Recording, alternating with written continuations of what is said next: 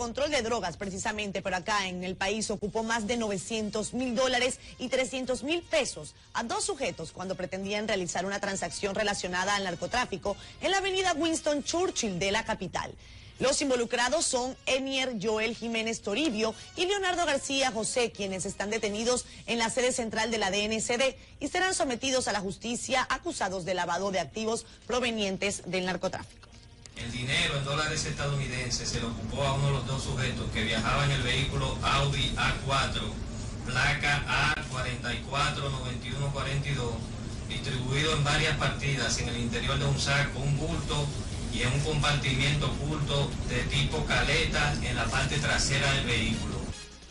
Asimismo, agentes de esta institución decomisaron en el puerto de Jaina Oriental 27 paquetes de un polvo presumiblemente cocaína o heroína en el interior de 127 contenedores que procedían de Barranquilla, Colombia.